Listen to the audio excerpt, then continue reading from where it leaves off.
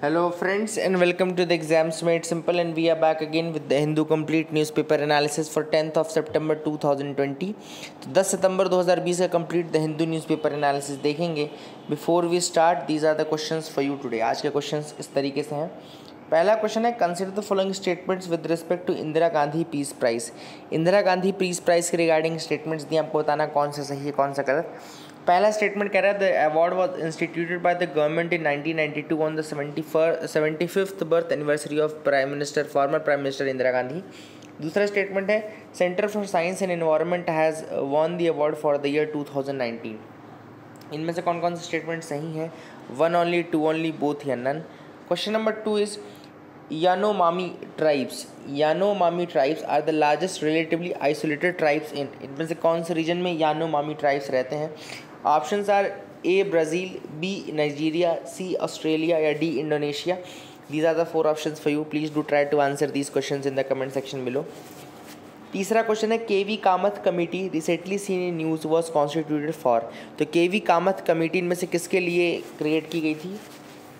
Option are A restructuring of loans impacted by the pandemic B to spell out revival plans for the telecom sector C to study cryptocurrencies in India या D none of the above तो के V Kamath committee में से किसके लिए बनी थी आपको बताना है?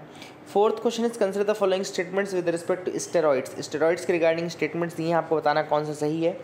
पहला है they are the class of natural और सिंथेटिक ऑर्गेनिक कंपाउंड्स दूसरा स्टेटमेंट कह रहा है they are use as anti inflammatory medicine designed to act like hormones use to treat range of conditions which are the following statements are correct one only two only both he Anant so please do try to attempt the answers of this question I will tell you the answers in the end of the video जब video खत्म होगा तो मैं एक बार answers आपको confirm कर दूँगा, ठीक है ना?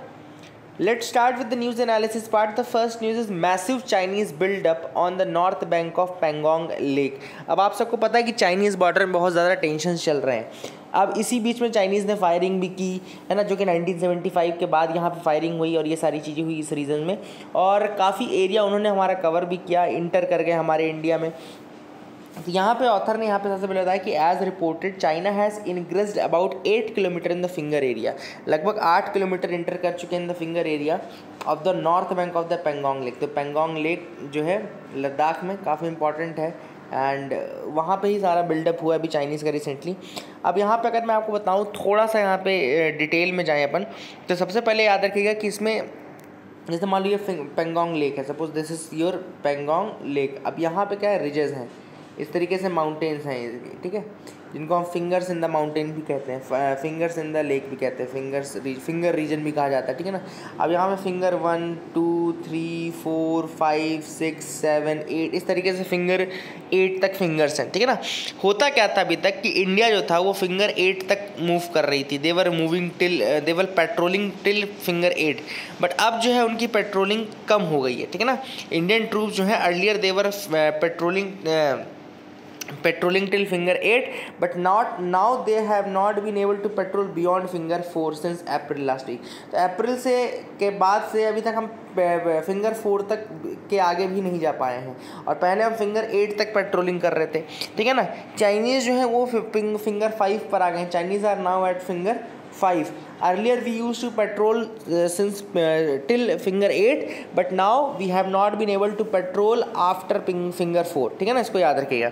दूसरी चीज़ जो अभी रिसेंट बैक बैकिंग हुई है दोनों कंट्रीज़ की तो चाइना जो है they have fine partially retreated to finger five वो फिंगर फाइव पर आ गए हैं। And Indian troops were pulled back to finger two हम फिंगर टू पे चले गए फिंगर फोर पे थे तो हम फिंगर टू पे आ गए। तो this has happened in the Chinese region यहाँ पे ये बेसिकली हुआ है। थोड़ा सा मैं आपको क्या करूँगा बॉर्डर दिखा देता हूँ चाइना के साथ, इंडिया का। तीन सेक्टर में डिवाइडेड है। टोटल चालीस सौ पचास किलोमीटर का बॉर्डर है। चार हज़ार पचास किलोमीटर की टोटल लाइन हम चाइना के साथ शेयर करते हैं, जिसमें डिस्प्यूटेड जो बॉर्डर है that adds up to nearly बत्तीस किलोमीटर का डिस्प्यूटेड बॉर्डर ठीक है ना? तो सबसे पहले लद्दाख रेंज जो है बेसिकली जहाँ पे जम्मू कश्मीर बॉर्डर है nearly twenty one fifty kilometres का ये बॉर्डर है। जम्मू कश्मीर को जिनजियांग प्रोविंस, जो चाइना का है, उससे सेपरेट करता है, जिनजियांग से सेपरेट करता है। ये डिस्प्यूटेड रीजन में है, क्योंकि यहीं पे पैंगोंग गलवन देमचोक ये देमचोक नीचे है। देमचोक थोड़ा नीचे है उसके ऊपर आपको गलवन मिल जाएगा, उसके ऊपर आपको पेंगोंग वाला रीजन में तो ये इस तरीके से थोड़ा नॉर्थ टू साउथ का भी ओरिएंटेशन आपको बता दिया। इसको वेस्टर्न बॉर्डर बोलते हैं। This is the western side of the border twenty one fifty kilometre का बॉर्डर है। फिर आपका लीस्ट कंट्रोवर्शियल जो बॉर्डर है, वो लगभग 625 किलोमीटर की बाउंड्री है। ये आपके हिमाचल प्रदेश और उत्तराखंड वाले रीजन में आता है। हिमाचल प्रदेश और उत्तराखंड वाले रीजन में। फिर आपका यहाँ पे दोकलाम ट्राई जंक्शन दिख रहा होगा, सिक्किम दिख रहा होगा, और यहाँ पर ये वाला जो रीजन है, दोकलाम ट्राई जंक्शन जो इंडिया भूटान और चाइना के बीच में ठीक है ना? इसको याद रखिएगा। इंडिया भूटान और चाइना के बीच में है। आपका ये दोकलाम ट्राई जंक्शन ठीक है? तो ये अलग भूटान हो गया, चाइना हो गया और ये आपका इंडिया हो गया। तो इस तरीके से ये भी एक इंपॉर्टेंट रीजन है। दोकलाम ट्राई जंक्शन जो है इंपॉर्टेंट है, याद रखेगा उसके बाद यहाँ पे एक और पास था, एक और पॉइंट है जहाँ पे डिस्प्यूट होता था। बेसिकली सिक्किम में यहाँ पे था नाकूला। नाकूला तो अगर आपसे कोई नाकूला पूछता है कहाँ पर है तो सिक्किम वाले रीजन में ये आपको याद रखना है। और ईस्टर्न साइड का फिर बॉर्डर 1140 किलोमीटर का है ईस्टर्न साइड का बॉर्डर जहाँ पे अरुणाचल प्रदेश के साथ, जैसे यहाँ पर एक तवांग मोनेस्ट्री है, तवांग है। तो तवांग को चाइना बोलता है कि वो तिब्बत का पार्ट है मतलब कि चाइनीज़ पार्ट है, तवांग का, तवांग मोनेस्ट्री वाला जो रीज़न है। तो इसको ये सब डिस्प्यूटेड में ही आता है। यहाँ पर आपका मैकमोहन लाइन है। मैक महोन लाइन जिसको बोलते हैं, इंडो चाइना का बॉर्डर जो प्रॉपर है, वो आपको ईस्टर्न बॉर्डर में ही है तो ईस्टर्न साइड में ही आता है। तो इस तरीके से मैंने आपको बॉर्डर दिखा करके एक बार शो कर कर दिया कि किस तरीके से है चालीस सौ पचास किलोमीटर का बॉर्डर बत्तीस सौ नब्बे इसमें डिस्प्यूटेड है, इसमें पच्चीस इक्कीस सौ पचास किलोमीटर के आसपास का बॉर्डर वेस्टर्न साइड में डिस्प्यूटेड है, और ग्यारह सौ चालीस किलोमीटर का बॉर्डर जो है ईस्टर्न साइड में वो भी थोड़ा डिस्प्यूटेड है, ठीक है ना? तो इसको याद रखिएगा। These are the things which are there आगे मूव करते हैं तो S I I pulled up for not pausing the vaccine trial S I I यानी कि सीरम इंस्टीट्यूट ऑफ़ इंडिया जो कि कहाँ पर लोकेटेड है? वह पुणे में लोकेटेड है। तो पहली तो लोकेशन इंपॉर्टेंट आती है कि सीरम इंस्टीट्यूट ऑफ़ इंडिया है कहाँ पर? तो ये पुणे में लोकेटेड है। तो डी जी सी यानी कि ड्रग कंट्रोलर ऑफ़ इंडिया जो है basically drug controller of India इन्होंने डिमांड किया that Serum Institute of India which is conducting phase three trials of people in India involving U K based Astra AstraZeneca's COVID nineteen vaccine candidate तो AstraZeneca की जो vaccine candidate है उसका नाम है ChAd O X one ChAd O X one या Oxford A D कहते हैं। ChAd O X one Oxford Oxford A D phase three trials इसके कंडक्ट हो रहे हैं UK South Africa and Brazil में okay the phase three trials are in UK South Africa and Brazil and it is said to be tested on 30,000 people in the US.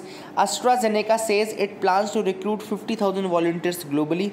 And uh, जो side effects थे वो थे fever headache muscle pain and injection site reaction they were deemed mild and moderate and AstraZeneca जो था on late Tuesday they put global trials on hold after reports emerge of several adverse reaction तो कुछ adverse reaction आए थे जिसके कारण AstraZeneca ने इसके ट्रायल्स को रोक दिया था। ठीक है ना? एंड uh, लेकिन अभी क्या किया Serum Institute of India they are testing a COVID nineteen vaccine है ना? एंड uh, उन्होंने ट्रायल करना शुरू कर दिया और उन्होंने कहा कि कोई इसके साथ इश्यूज़ नहीं है। तो इसलिए doctor drug controller of India जो है उन्होंने ये कहा है कि uh, why test have not been pause in India to until safety has been study तो अस्ट्राजेनेका ने जब मना कर दिया, उन्होंने कहा पॉज करना है तो फिर इंडिया में ट्रायल्स क्यों पॉज नहीं हुए? Why Serum Institute of India continue testing even after the AstraZeneca has pause the trials in various countries याद रखेगा ठीक है ना? चैड ओ एक्स वन या ऑक्सफोर्ड ए डी आपके लिए क्वेश्चन जो है बेसिकली याद रखिएगा वो सॉलिडेरिटी ट्रायल क्या है? मैंने कई बार दस पचास बार बनाया। सॉलिडेरिटी ट्रायल क्या है?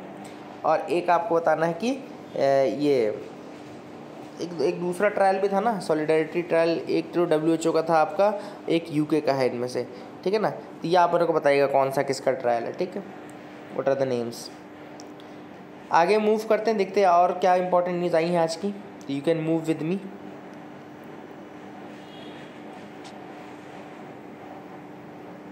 यहाँ पे तो ऐसी कोई न्यूज़ खास नहीं दिख रही है।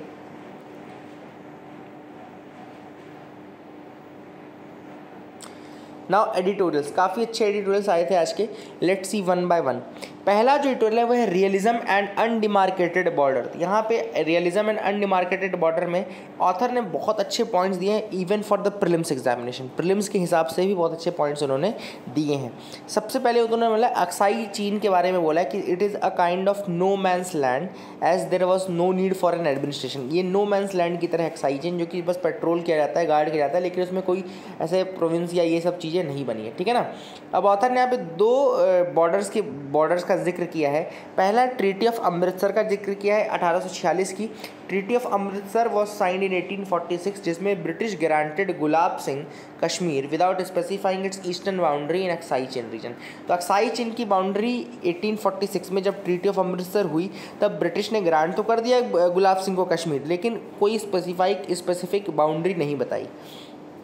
According to the Article 2 of the treaty, the boundary was to be defined by a separate engagement after survey. उन्होंने ये कहा था कि एक सेपरेट सर्वे होगा उसके बाद बाउंड्री डिफाइन करेंगे। ठीक है ना? अब यहाँ पे कुछ सर्वे इंपॉर्टेंट है जैसे कि पहला सर्वे है जॉनसन अर्डाग लाइन याद रखेगा the first one is Johnson Ardagh line जो कि 1865 की लाइन थी। Ran along the Kunlun mountains included Aksai Chin in Kashmir and was not communicated to China याद रखिएगा 1865 में पहली जो लाइन आई, वो जॉनसन अर्डाग लाइन आई, जो कि कुल्लून माउंटेन्स आपके चाइनीज़ हैं। Chinese Kunlun mountain Kunlun Shan Tian Shan ये सब है। And it included Aksai Chin it in its it included Aksai Chin in Kashmir Kashmir में इंक्लूड किया था। And it was not communicated to the China China communicate नहीं किया गया। याद रखेगा जॉनसन आर्डग सर्वे। दूसरा था आपका Macartney MacDonald line. Macartney MacDonald line, ये काराकोरम रेंज से क्लोजर के it ran closer to the Karakoram ranges. इसने ट्रीट किया Indus water shed as the border. Indus का जो वाटर शेड है दैट इज़ द बॉर्डर फिर इसको याद रखिएगा officially this was sent to the British from by the British to China ये ब्रिटिश ने चाइना को भेजा था इन 1899 ठीक है ना? लेकिन फॉलोअप नहीं किया गया and the border remained undefined इसका फॉलोअप नहीं हुआ और बॉर्डर अनडिफाइंड रह गया। अब ऑथर ने कहा कि जो 1962 में इंडिया और चाइना का युद्ध हुआ तो उसका एक बहुत बड़ा रीज़न ये अनडिफाइंड बॉर्डर भी था। कहीं ना कहीं वो बॉर्डर को डिमार्केट करने की बात प्राइम मिनिस्टर लेके आ रहे थे, जवाहरलाल नेहरू, लेकिन फिर वो हो नहीं पाया और वो फिर एक कन्वर्ट हो गया एक वॉर में। अब ऑथर ने कहा कि तीन मिस स्टेप्स हुए by both the countries that have resulted in the current stalemate तीन मिस स्टेप्स हुए, तीन गलत स्टेप्स रखे गए, जिन कारण से पूरा जो इशू आया दोनों कंट्रीज़ के बीच में आया पहला है the two civilizational states establishing their identity were ill advised by poorly informed experts तो सबसे पहली बात कि दोनों जो कंट्रीज़ हैं, एक दो डिफरेंट सिविलाइजेशन को रिप्रेजेंट करती हैं, ठीक है ना? और वहाँ पे the advisers were not giving proper advices and they were poor advices given by poor informed experts experts जो थे वो पुअरली इन्फॉर्म थे, उनको प्रॉपर नॉलेज नहीं था. India issued new maps in 1954 India ने नए मैप्स 1954 में इशू किए. Removing the undemarcated territory tag है ना? उन्होंने अनडिमार्केटेड कोई टेरिटरी दिखाई ही नहीं. फिर उसके बाद 1957 में चाइना ने मैप निकाला. They also showed Aksai Chin with the only traffic artery between Tibet and Xinjiang in its new map तो उन्होंने अक्साई चिन को शोकेस किया। तो ये जो कार्टोग्राफिक एम्बिगिटी थी this was converted into a clashing sovereignty with unwarranted मतलब जिसको किसी को पता नहीं कि कौन कहाँ का रीजन है, लेकिन दोनों ने अपने अपने कार्टोग्राफिक मैप्स के थ्रू एक पूरा का पूरा इशू खड़ा कर दिया। बिना अगर उसको बात करते, अगर उसको प्रॉपर सही तरीके से सुलझाने की कोशिश करते हिस्टोरिकल डॉक्यूमेंट्स को देख करके तो हो सकता है ये प्रॉपर डिमार्केट हो भी जाता लेकिन सिर्फ़ इस तरीके से था कि एग्रेशन का ये पार्ट बन गया and this created a dispute दूसरा ये है कि further reliance placed on experts to assist the diplomatic process in reconciling records and customs obfuscated the political nature of the settlement तो बेसिकली हुआ क्या कि further reliance placed on experts experts पे और ज़्यादा रिलायंस हो गया। क्यों? क्योंकि एक तो इशू क्रिएट उन्होंने किया था, जिसका पता नहीं चला इनको, और इन्होंने रिलायंस उनके ऊपर क्यों रखा? क्योंकि अब ये हो गया कि अब डिप्लोमेटिक तरीके से इसको सॉल्व भी करना है। तो डिप्लोमेटिक तरीके से जब सॉल्व करेंगे तो वो भी तो काम एक्सपर्ट्स का ही है, ठीक है ना? तो ये चीज़ होने लगी। In 1960 the history and tradition of the area was to be examined by a joint expert group which could not produce an agreed report as earlier map considered basin boundaries तो यहाँ पे हुआ ये कि 1960 में डिसाइड हुआ कि एक एक्सपर्ट जॉइंट ग्रुप बनेगा दोनों कंट्रीज़ का और वो प्रोड्यूस करेगा एग्रीड रिपोर्ट लेकिन ऐसा नहीं हो पाया एग्रीड रिपोर्ट एक नहीं आ पाई.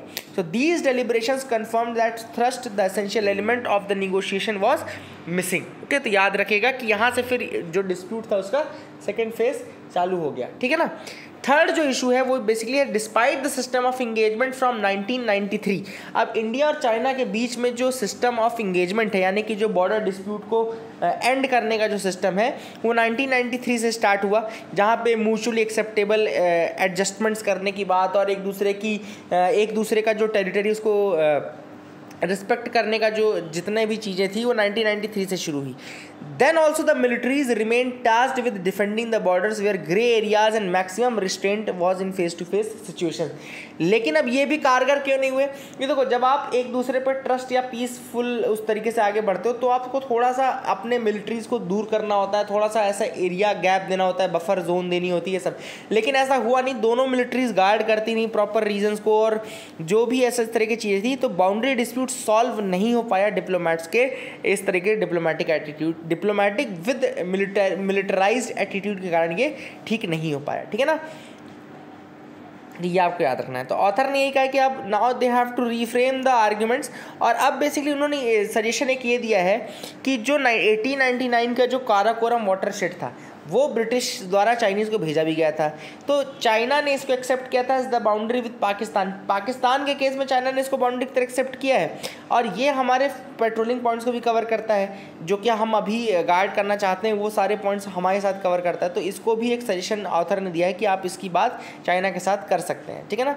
So these are the things which have been mentioned in this article I hope you got clarity regarding that अगला जो एडिटोरियल है, वो है in blockchain voting leave out the general election अब ऑथर ने यहाँ पे कहा है ब्लॉक चेन टेक्नोलॉजी के बारे में।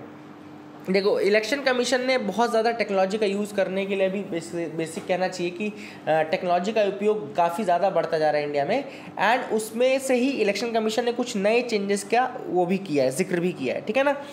अब, अभी रिसेंटली एक ऑनलाइन कॉन्फ्रेंस हुई थी कोलैबोरेशन जो कि तमिलनाडु ई गवर्नेंस एजेंसी द्वारा एन आई मद्रास द्वारा की गई थी। Tamil Nadu e governance agency and I Madras. यहाँ पे बेसिकली क्या एक्सप्लोर किया गया? The possibility of using blockchain technology for the purpose of enabling remote election याद रखेगा remote voting remote elections remote voting के लिए इस कॉन्फ्रेंस में ब्लॉकचेन टेक्नोलॉजी को डिस्कस किया गया है। तो ऑथर ने ये आर्टिकल उसी पे लिखा है कि हमको ब्लॉकचेन टेक्नोलॉजी को इलेक्शंस में यूज़ नहीं करना चाहिए। ऑथर ने कहा ब्लॉकचेन बेसिकली एक डिस्ट्रीब्यूटेड लेजर होता है, बिल्कुल एज इट इज़ उसको याद रखना। यही यूपीएससी पूछेगा ब्लॉकचेन क्या होता है? एक डिस्ट्रीब्यूटेड लेजर ऑफ़ इंफॉर्मेशन होता है। ठीक है ना? एक रिकॉर्ड ऑफ़ इसको कहते हैं काफ़ी ज़्यादा इसको वो किया जाता है कि मतलब कि जो आपका रीऑर्गेनाइजेशन ऑफ़ डेटा है मतलब किस तरीके से रहता है कि आपको हर फ़ेज़ पे इंफॉर्मेशन प्रॉपर रहेगी। डिसेंट्रलाइज्ड काफ़ी सिस्टम है। This is this is a decentralise system एक डिस्ट्रीब्यूटेड लेजर है ऑफ़ इंफॉर्मेशन का which is replicated across various nodes अब ये जो डिस्ट्रीब्यूटेड लेजर है, ये इसको रेप्लीकेट किया जाता है हर नोड पे on peer to peer network तो पीयर टू पीयर नेटवर्क के बीच में इसको हर नोड पे बेसिकली क्या किया जाता है डिस्ट्रीब्यूट किया जाता है। अब क्यों डिस्ट्रीब्यूट किया जाता है? For the purpose of ensuring the integrity and verifiability of data stored in the ledger अब क्यों इसको डिस्ट्रीब्यूट किया जाता है या क्यों इसको इस तरीके से पीयर टू पीयर नेटवर्क की हर नोड में डिस्ट्रीब्यूटेड रखा जाता है, ताकि जो डेटा की इंटीग्रिटी है या उसकी वेरीफाइबिलिटी है स्टोर डेटा की, वो मेंटेन रह सके। ठीक है ना? अब ये क्रिप्टो करेंसीज बिटकॉइन इथरम इन सब में यूज़ हो चुका है। अब इनका यूज़ बेसिकली रिमोट वोटिंग के लिए पॉसिबिलिटी में का किया जा रहा है कि जो रिमोट वोटिंग है, उस केस में इसको यूज़ किया जा सकता है।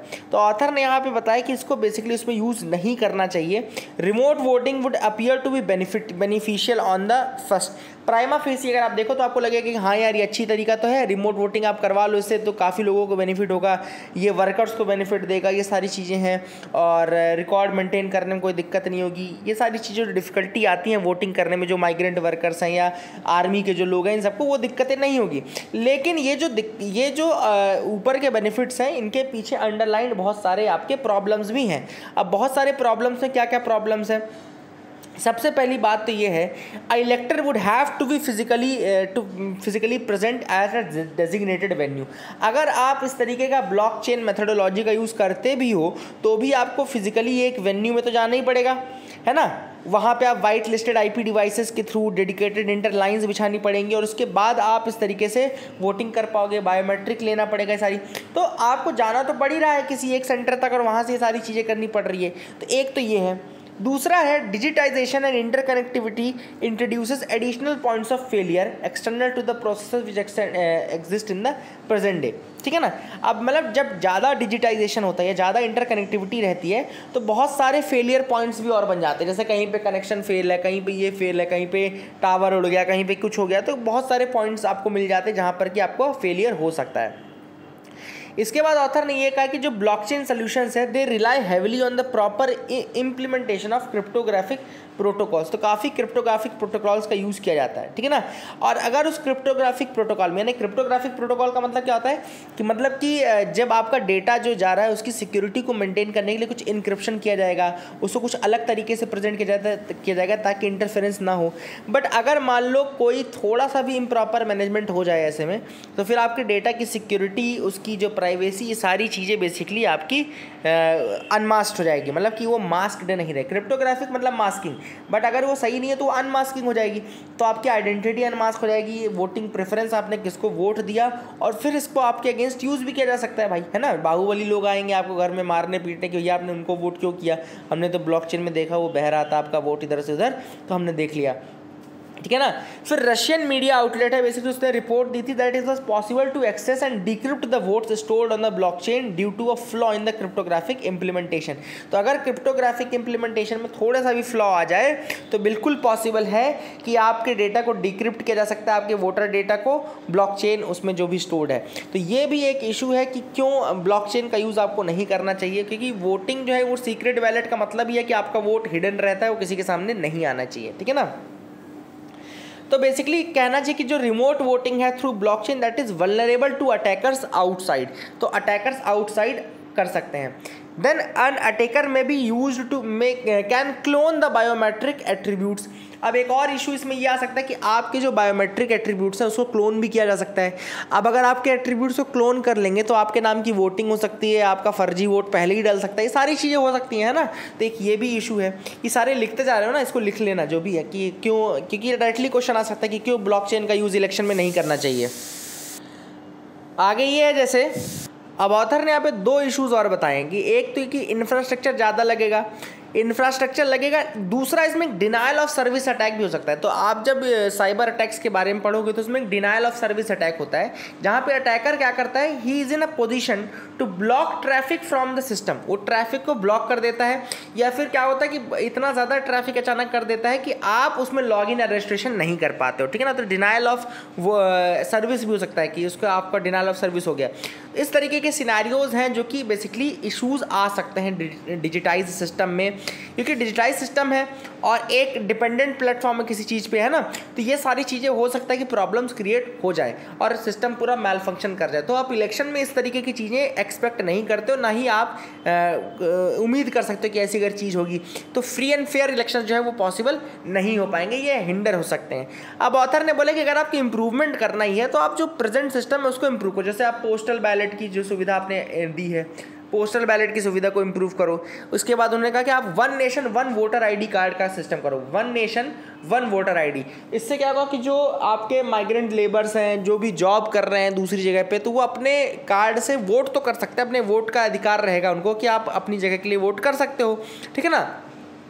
तो ये एक इंपॉर्टेंट चीज़ है जो कि की जा सकती है। तो one nation one voter ID card एक सोल्यूशन है है ना? तो ये सारी चीज़ें ऑथर ने यहाँ पे कही। इंडिया को एक, एक टर्म यहाँ पे इस आर्टिकल में ज़रूर ऑथर ने दिया है टेक्नो सोल्यूशनिज्म टेक्नो सोल्यूशन मतलब इंडिया ऑप्सेस्ड है कि टेक्नोलॉजिकल सोल्यूशंस मिले।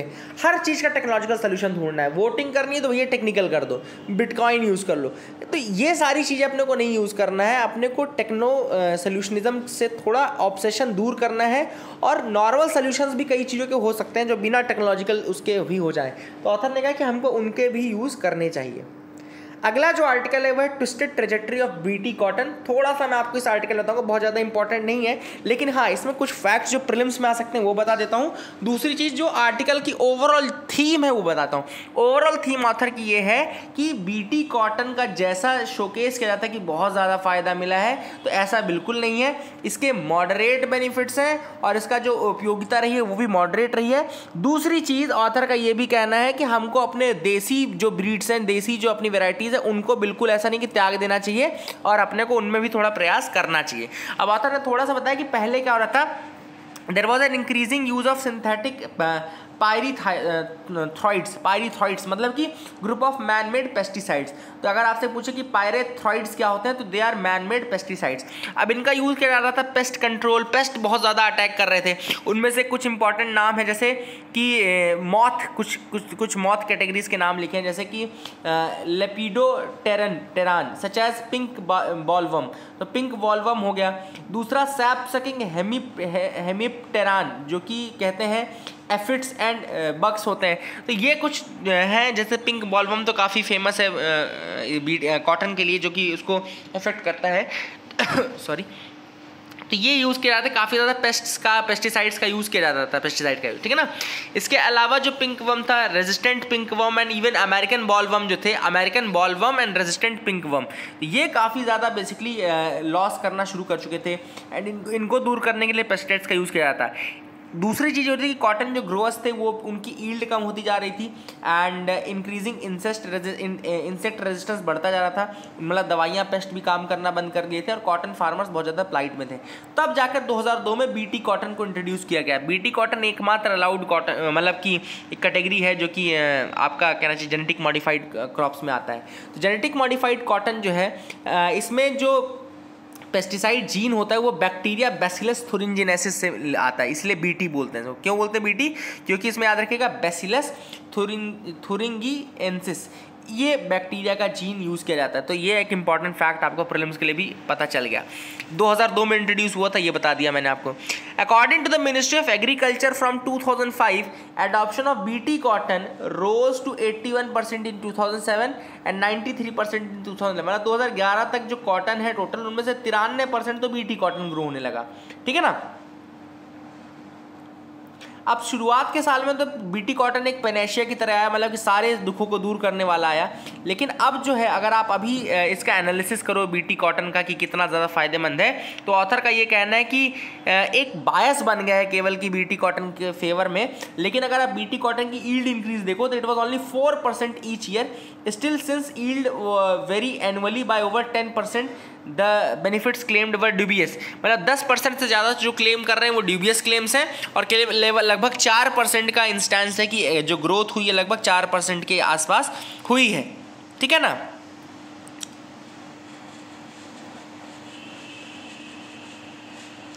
अब इसके बाद ऑथर ने और कुछ चीज़ें बताई हैं जैसे यहाँ पे वही सारे डेटा फैक्ट्स दिए हैं लेकिन वो तो अपने को याद नहीं रखने।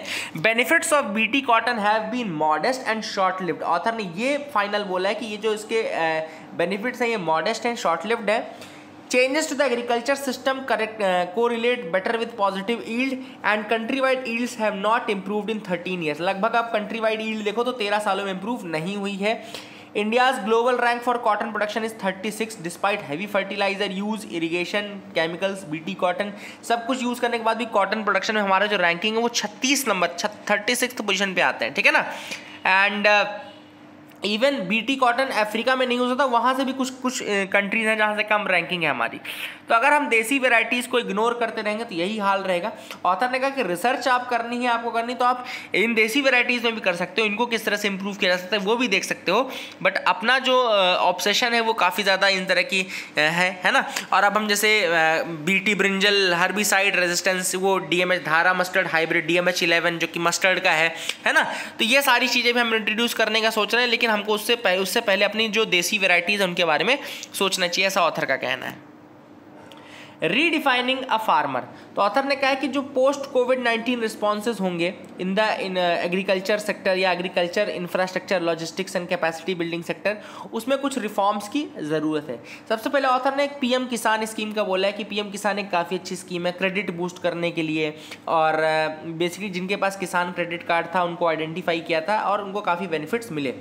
अब पीएम किसान में एक इंपॉर्टेंट चीज़ ये कि ownership of cultivable land as per the land records land records के हिसाब से आपके पास ओनरशिप होनी चाहिए कल्टीवेबल लैंड्स की।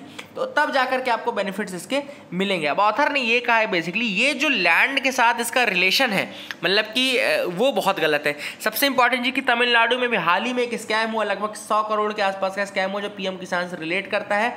और इसके, ये देखने को मिलता है कि चाहे आप मतलब कि जो ये डेफिनेशन है ना कि लैंड के साथ आपके लैंड रिकॉर्ड और ये सारी चीज़ें इसका बहुत ज़्यादा मिसयूज़ किया जाता है और कई बार क्या होता है, जो जेन्यून लोग जिनको मिलना चाहिए, उनको नहीं मिल पाता और टेनेंट्स और जो लीज में लिया उनकी तो बात ही अलग है, ठीक है ना? तो ऑथर ने वही कहा है कि आपको ये डेफिनेशंस चेंज करने की ज़रूरत है। बहुत अलग अलग सर्वेज के थ्रू तो आपकी डेफिनेशन आ चुकी है। जैसे मैं आपको बताऊँगा कि कुछ कुछ काम की डेफिनेशन भी आ चुकी हैं, लेकिन अब क्या एक प्रॉपर जो गवर्नमेंट अनाउंस्ड डेफिनेशन है, वैसी कोई डेफिनेशन नहीं आ पा रही कि फार्मर है कौन जिसको कि बेनिफिट इन स्कीम्स का मिलेगा।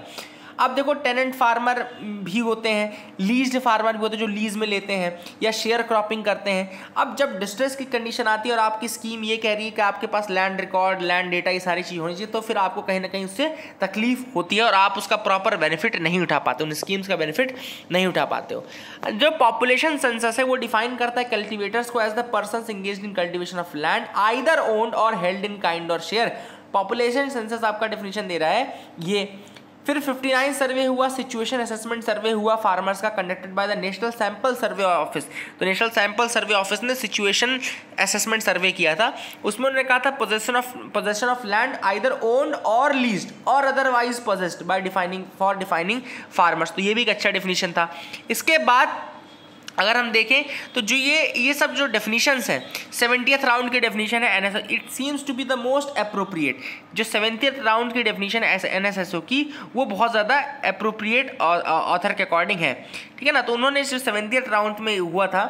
देखो delinking of land as the defining criteria for farmer was done in the seventh round of situation assessment survey carried out by the N S S O तो याद रखेगा सिचुएशन असेसमेंट सर्वे पहले तो N S S ओ करता है national sample survey office दूसरा उसने agriculture में बेसिकली ये डिफाइन कर दिया था कि those receiving some value of produce ये देखो क्या किया उन्होंने? Those receiving some value of produce from agricultural activities during the previous 365 days ऐसे लोग जिनको पिछले तीन सौ पैंसठ दिनों में एग्रीकल्चर यानी खेती के थ्रू कुछ पैसा मिला हो, जिसमें कि मिनिमम आपका तीन मतलब कम से कम तीन हज़ार रुपये आपको तीन एक साल में मिला हो ठीक है ना? तो ये फिक्स किया गया एज द रिक्वायरमेंट कि आपको तीन सौ पैंसठ दिनों में कम से कम तीन हज़ार रुपये मिले होंगे तो आप फिर एक फार्म या फार्मर या एग्रीकल्चर हाउस होल्ड की कैटेगरी में आते हो। ठीक है ना? तो ये बेसिकली किसको एक्सक्लूड करने के लिए किया गया था? ये उनको एक्सक्लूड करने के लिए किया गया था, जिनकी सिग्निफिकेंट इनकम नहीं होती एग्रीकल्चर से। ठीक है ना? प्लस उनको किया गया था इंक्लूड जिनके पास प्रॉपर खुद का लैंड नहीं होता, लेकिन उनकी इनकम होती है एग्रीकल्चर पर डिपेंडेंट रहते हैं। तो लैंड ओनरशिप का जो क्राइटेरिया था, वो हटा दिया गया था। तो ऑथर ने वही कहा कि ये जो सैंपल सर्वे और ऑफ़िस का जो डेफिनेशन है सेवेंटियथ राउंड एस का, वो सबसे प्रॉपर है। और जो एग्रीकल्चर है, उससे मतलब जो लैंड है, उससे डीलिंक करने की ज़रूरत है। तब जाकर क्या प्रॉपर एग्रीकल्चर हाउस होल्ड या फार्मर के डेफिनेशन बनाओ और ब्रॉडर डेफिनेशन बनाओ। शॉर्ट टर्म सोल्यूशन मत प्रोवाइड करो ब्रॉडर डेफिनेशन बनाओ, ताकि जो ये लैंड ओनर्स के अलावा जो लीज में लैंड ले रहे हैं या ये सब चीज़ें ले रहे हैं तो इनको भी फ़ायदा मिले। आगे मूव करते हैं। देखते हैं क्या इंपॉर्टेंट न्यूज़ आइटम्स हैं, जिनके बारे में हमको देखना है। Israel in trade talks with India and China तो इसराइल जो है, वो अपने इंडिया एंड चाइना के साथ ट्रेड टॉक्स के लिए बात शुरू कर रहा है। तो ये बेसिकली इंडिया इसराइल के रिलेशन के बारे में लिख सकते हो आप। ठीक है ना? They are negotiating a limited deal for about two hundred designated products लगभग दो सौ प्रोडक्ट्स की डील हो रही है इंडिया और इसराइल के बीच में। देन फ्री ट्रेड एग्रीमेंट की बात चल रही है with South Korea China and Vietnam Israel की साउथ कोरिया चाइना वियतनाम के साथ भी चल रही है। और इसराइल एक और चीज़ प्लान कर रहा है सिंस अभी उसने यूएई के साथ पीसफुल रिलेशन मेंटेन कर लिए हैं तो इंडिया यूएई इसराइल ऐसा एक एंगल बना करके friendship treaty agriculture technology water इन सब की फ़ील्ड में इन्वेस्ट करना चाहता है इसराइल ठीक है ना? तो ये एग्रीमेंट के लिए वो प्रयास कर रहे हैं। दूसरा, वो ये भी चाह रहे हैं कि इंडिया और चाइना के रिलेशन नॉर्मल हो जाए। तो अगर इंडिया चाइना के रिलेशन नॉर्मल लाएँगे तो वो चाइना और इंडिया दोनों के साथ अच्छे रिलेशन मेंटेन कर सकते हैं। आगे देखते हैं government will ease problems of poor prime minister तो प्राइम मिनिस्टर बात कर रहे थे अभी कुछ लोगों से मध्य प्रदेश में, जहाँ पे उन्होंने बोला कि उन पुअर की जो प्रॉब्लम्स उनको दूर की जाएगी। अब इन्होंने एक स्कीम का ज़िक्र किया पीएम स्वनिधि तो ये आत्मनिर्भर भारत पैकेज के अंतर्गत ही था। पीएम स्वनिधि जो स्कीम है, एक माइक्रो क्रेडिट स्कीम है। याद रखिएगा पीएम स्वनिधि एक माइक्रो क्रेडिट स्कीम है, जिसको कि union housing and urban affairs ministry ने लॉन्च किया था। Union housing and urban affairs ministry ने लॉन्च किया था पीएम स्वनिधि स्कीम को। और इस स्कीम के अंदर स्ट्रीट वेंडर्स जो कि बैडली हिट है by the pandemic street vendors को दस हज़ार रुपये देने के लिए किया गया था प्रावधान ताकि वो बेसिकली लॉकडाउन के बाद खुद के बिज़नेस को स्टार्ट कर सके। स्ट्रीट वेंडर्स को दस हज़ार P M Svanidhi micro credit scheme scheme है जो कि अर्बन अफेयर्स मिनिस्ट्री ने लॉन्च की थी। इतने ही फैक्ट्स अगर आपको याद रहेंगे तो आप क्वेश्चन कर लेंगे। ये स्कीम कैसे हेल्प करती है? It get rids of gets rid of interest completely एक तो इसमें इंटरेस्ट कोई नहीं लगता और interest rebate of up to rupees of up to seven percent is being given anyway है ना? इंटरेस्ट रिबेट भी सात परसेंट तक का भी दिया गया है तो मतलब कि इसमें कोई इंटरेस्ट नहीं देना और दस हज़ार रुपये बेसिकली तरीके से उनको मिल रहे हैं ताकि वो अपने बिज़नेस को रिस्टार्ट कर सकें। तो ये कुछ एक अच्छे प्रावधान है जो किए गए थे, इनके बारे में याद रखिएगा। नीट उसी डेट को हो रहा है सुप्रीम कोर्ट ने एक्सेप्ट करने से मना कर दिया इसलिए। ये इंपॉर्टेंट है, याद रखिएगा। ठीक है? Indo Pacific trilateral dialogue held अब देखो इंडो पैसिफिक रीजन क्या होता है? इंडो पैसिफिक रीजन जिसको इंडो वेस्ट पैसिफिक या इंडो पैसिफिक एशिया भी कहा जाता है। इंडो पैसिफिक को इंडो पैसिफिक या इंडो वेस्ट पैसिफिक या इंडो पैसिफिक एशिया भी कहा जाता है। ये एक बायोजियोग्राफिक रीजन है है ना? और ये कंप्राइज करता है tropical waters of Indian Ocean western and central Pacific Ocean and seas connecting the two in general areas of the Indonesia तो जो ये वाला रीजन है जैसे इंडोनेशिया हो गया ऑस्ट्रेलिया का ऊपर का रीजन हो गया इधर साइड थोड़ा सा अफ्रीका के इधर का रीजन इंडिया का रीजन इंडिया के नीचे वाले पार्ट का रीजन इधर साइड इंडोनेशिया फिलीपींस ये वाला रीजन हो गया। ये सारे ये आपके इंडो ए, ए, ए, या इंडो पैसिफिक रीजन में आते हैं ठीक है ना?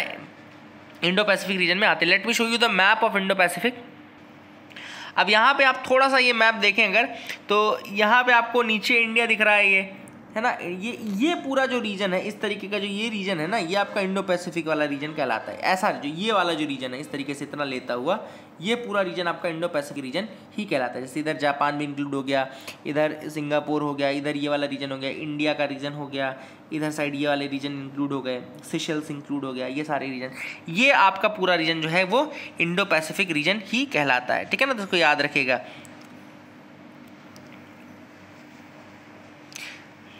one in three high schoolers get private coaching अब एनएसओ अभी एजुकेशन पे रिपोर्ट लेकर के आया नेशनल स्टैटिस्टिकल ऑफ़िस उसमें बेसिकली इन्होंने बताया कि one in five student in India supplements school education with private coaching हर पाँच में से एक बच्चा जो है वो अपने प्राइवेट एजुकेशन अपने एजुकेशन को प्राइवेट कोचिंग के थ्रू असिस्ट करता है. And almost one in three at the secondary school level और class nine and ten level पे लगभग तीन में से हर एक बच्चा करता है. ठीक है ना? तो ये इंपॉर्टेंट है। आपको यहाँ पे दिख रहा होगा परसेंटेज प्री प्राइमरी में लगभग ग्यारह दशमलव एक छः परसेंट प्राइमरी में सोलह परसेंट अपर प्राइमरी इक्कीस परसेंट सेकेंडरी तीस परसेंट हायर सेकेंडरी सत्ताईस परसेंट डिप्लोमा सर्टिफिकेट सात दशमलव तीन परसेंट ओवरऑल ओवरऑल अगर देखो तो नाइनटीन पॉइंट एट परसेंट अभी बच्चे ऐसे जो कि प्राइवेट कोचिंग ट्यूशन ये सब लेते हैं। ठीक है ना? और इसमें काफ़ी ज़्यादा पैसा भी उनका लगता है। तो एन एस ओ यानी नेशनल स्टेटिस्टिकल ऑर्गेनाइजेशन इसके रिपोर्ट के अंतर्गत ये आया है। आपके लिए क्वेश्चन ये कि एन एस ओ जो था अभी रिसेंटली बना था किन्हीं दो ऑर्गेनाइजेशन को मर्ज कर करके। आपको बताना है कि which are the two organisation merge for farming forming the NSO NSO बनाने के लिए कौन सी दो ऑर्गेनाइजेशन को मर्ज किया गया था? This is a question to you please do try to answer defence export increase 700 percent in three years Vipin Rawat का कहना है, जनरल विपिन रावत का ये कहना है कि जो एक्सपोर्ट हैं डिफेंस के, वो लगभग 700 परसेंट से बढ़े हैं पिछले तीन सालों में। India is the third largest spender on defence around the world world में अगर हम देखें तो हम तीसरे नंबर पर आते हैं डिफेंस की फ़ील्ड में खर्चा करने के मामले में, ठीक है ना? अभी रिसेंटली डिफेंस पॉलिसी में जो हमारा एम है that is to achieve a manufacturing turn of twenty billion dollar 25 billion dollar का मैन्युफैक्चरिंग टर्नओवर चाहिए हमको। और एक्सपोर्ट में हम चाहते हैं कि 5 बिलियन डॉलर का एक्सपोर्ट हम एयरोस्पेस एंड डिफेंस में करें बाय 2025 याद रखिएगा, इसको लिख भी लीजिएगा। डिफेंस में हम चाहते हैं कि 2025 तक लगभग 20 लगभग 5 बिलियन डॉलर का हम एयरोस्पेस एंड डिफेंस के फ़ील्ड में एक्सपोर्ट करने करने, करें, है ना? इसको याद रखिएगा। इसके अलावा हमने defence production and export promotion policy 2020 भी लेकर के आए। Defence production and export promotion policy 2020 इस पॉलिसी के अंतर्गत हमने क्या किया? बेसिकली बूस्ट करने के लिए एक्सपोर्ट हमने बहुत सारी चीज़ें की। फॉर एग्ज़ाम्पल हमने, एक तो हमने एफडीआई को थोड़ा सिंप्लीफाई कर दिया। देन हमने रिलैक्सेशन दिया एक्सपोर्ट कंट्रोल में। नो ऑब्जेक्शन सर्टिफिकेट्स देने के लिए हमने ईज किया। देन इसके अलावा हमने देखा कि इंडस्ट्रियल लाइसेंसिंग को हमने सिंप्लीफाई किया इंडस्ट्रियल लाइसेंसिंग को। तो ये कुछ स्टेप्स है जो कि लिए गए थे by our Indian side in order to boost the exports and all इसको बूस्ट करने के लिए हमने ये स्टेप्स भी उठाए। आगे मूव करते हैं। Kim calls for urgent steps after typhoon ravages the east तो टाइफून जो आया है बेसिकली अब देखो टाइफून कौन से रीजन में आता है? स्पेशली याद रखना कि north north western Pacific north western Pacific ocean याद रखिएगा नॉर्थ वेस्टर्न पैसिफिक ओशियन में जब ट्रॉपिकल साइक्लोन आता है तो ट्रॉपिकल साइक्लोन को हम यहाँ पे टाइफून बोलते हैं नॉर्थ वेस्टर्न पैसिफिक रीजन में। ट्रॉपिकल साइक्लोन के जो रीज़न है फॉर्मेशन के, वही टाइफून फॉर्मेशन के भी रीजंस हैं। फिर से बता देता हूँ sufficiently warm sea surface temperature atmospheric instability एक तो सी सरफेस में टेम्परेचर ज़्यादा होना चाहिए सत्ताईस डिग्री से तो ज़्यादा होना चाहिए। देन एटमॉस्फेरिक इंस्टेबिलिटी होनी चाहिए। High humidity in the lower to middle levels of the troposphere होना चाहिए। इनफ कोरियोलिस इफ़ेक्ट होना चाहिए to develop a low pressure centre एक pre existing low pressure area भी होना चाहिए। एक लोअर वर्टिकल विंड शेयर होना चाहिए। जो वर्टिकल विंड शेयर है, वो कम होना चाहिए, ठीक है ना? तो इस तरीके से ये कुछ रीजंस हैं जो कि आपके टाइफून को कॉज करते हैं या फिर कहना चाहिए कि ट्रॉपिकल साइक्लोन्स को कॉज करते हैं। इसको याद रखेगा। Bold actions needed to revive the economy says industry अब यहाँ पे कुछ सजेशंस दिए गए हैं कि किस तरीके से आप इकोनॉमी को रिवाइव कर सकते हो। इसको अपने नोट्स में ऐड कर दो। फॉर एग्जांपल डिमांड को आपको सप्लीमेंट करना है डिमांड को आपको बढ़ाना है। जिसके लिए आप क्या कर सकते हो कि कैश ट्रांसफ़र कर सकते हो to the migrant workers poors and farmers आप कैश ट्रांसफ़र कर सकते हो। जीएसटी रेट्स को टेम्पररी कट कर सकते हो। जीएसटी में से रिफॉर्म ही कर सकते हो। जैसे कि विजय केलकर ने कहा था कि 12 परसेंट का एक यूनिफॉर्म टैक्स स्लैब बना दो, ताकि आपके पास पैसा ज़्यादा से ज़्यादा आएगा तो ये कर सकते हो। Then increase in the government procurement government का प्रोक्योरमेंट बढ़ा सकते हो। Then front ending infrastructure project तो इंफ्रास्ट्रक्चर प्रोजेक्ट्स को बढ़ावा दे सकते हो कंप्लीट कर सकते हो। And partly funding of the wages ये सारी चीज़ें आप कर सकते हो। ठीक है ना? तो these are the things which can be done tried to be absolutely unbiased tries Sharma अब टी आर ए यानी कि telecom regulatory authority of India थोड़ा सा इसके बारे में आपको बता दूँ telecom regulatory authority of India जो था वो 1997 में बना था। 1997 में टी आर ए यानी telecom regulatory authority of India बना था। ये एक एक्ट के थ्रू बना था, इसमें स्टेट्यूटरी बॉडी है। Telecom regulatory authority of India act nineteen ये इंडिपेंडेंट रेगुलेटर है टेलीकॉम सेक्टर का इंडिया में इंडिपेंडेंट रेगुलेटर है। एम क्या है बेसिकली ताकि टेलीकॉम सर्विसेज़ को रेगुलेट कर सके। Fixation revision of tariff revision and fixation of tariff भी यही करता है। याद रखिएगा, ये इंपॉर्टेंट पार्ट है इसका। मिशन है to create a nature and nurture conditions of growth of telecommunication telecommunication की ग्रोथ को ये बढ़ावा देता है। एंड ये रिवाइज करता है टैरिफ्स को टेलीकॉम सर्विसेज़ के लिए। इसके अलावा एक टेलीकॉम डिस्प्यूट या टीडी सेट भी बोलते हैं, याद रखिएगा। Telecom dispute settlement authority settlement and appellate tribunal याद रखिएगा। Telecommunication dispute settlement and appellate tribunal T D SAT तो ट्राई एक्ट को अमेंड किया गया था बाय एन ऑर्डिनेंस जो कि 2000 में आया और अमेंड करके इसमें टी डी सैट का प्रावधान दिया गया कि ट्राई का अगर कोई जजमेंट है और लोग अगर उससे खुश नहीं है तो वो अपील कर सकते हैं कहाँ पे? टी डी सैट में जाकर के अपील कर सकते हैं। तो इसको याद रखिएगा। So that is it for the day friends answers आपको क्वेश्चंस के मैं बताता हूँ। जो क्वेश्चंस मैंने पूछे हैं तो let me tell you the answers for them पहला क्वेश्चन मैंने पूछा था कि इंदिरा गांधी पीस प्राइज के रिगार्डिंग क्या से तो पहला गलत है क्योंकि ये 1992 में नहीं, बल्कि 1986 में इंस्टीट्यूशनलाइज किया गया था। ये सेकंड भी गलत है सेकंड क्यों गलत है? क्योंकि ये अभी सीएससी को नहीं मिला है, ये मिला है डेविड अटन बैरो को। तो डेविड अटन बैरो को दिया गया था तो ये दोनों गलत हैं। यानो मामी ट्राइब्स पूछा था मैंने तो ये ब्राज़ील, साउथ अमेरिका की ट्राइब है, याद रखिएगा। जोग्राफी ऑप्शनल वालों को बिल्कुल बनता रहा होगा ये, ट्राइब्स उसमें, हमारे उसमें आता है। तो ब्राज़ील, साउथ अमेरिकन ट्राइब है। केवी कामत है बेसिकली केवी कामत कमेटी जो बनाई गई थी, वो अभी रिसेंटली बनाई गई थी कि पैंडेमिक के टाइम में रिस्ट्रक्चरिंग ऑफ़ लोन्स किस तरह से की जाए, केवी कामत कमेटी। एस्ट्रॉइड्स के रिगार्डिंग दोनों स्टेटमेंट ही सही है तो both are correct so that is it for the day friends. I hope you liked our video. Please do like share and subscribe. Keep loving us. Keep sharing us. Thank you and have a nice day